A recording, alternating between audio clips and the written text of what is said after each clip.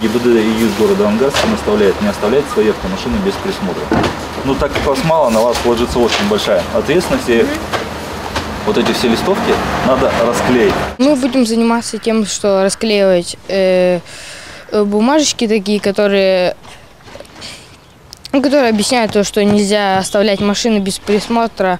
По статистике, с начала года произошло примерно 110 краж автотранспорта. В основном жертвами преступников становились машины, оставленные владельцами во дворах жилых домов. В основном кражи совершаются по ночам. К примеру, только в этом дворе 27-го дома в 15-м микрорайоне с начала года произошло 4 автоугона. Чтобы предотвратить рост таких преступлений, юные инспекторы, те, кто постарше, придумали листовки с обращением к автовладельцам. ГИБДД лишь помогло им в изготовлении. Ну вот сегодня мы вышли э, в пяти точках города. Это места концентрации крашеугонов автотранспорта. Это 15 микрорайон, 32 34 микрорайоны.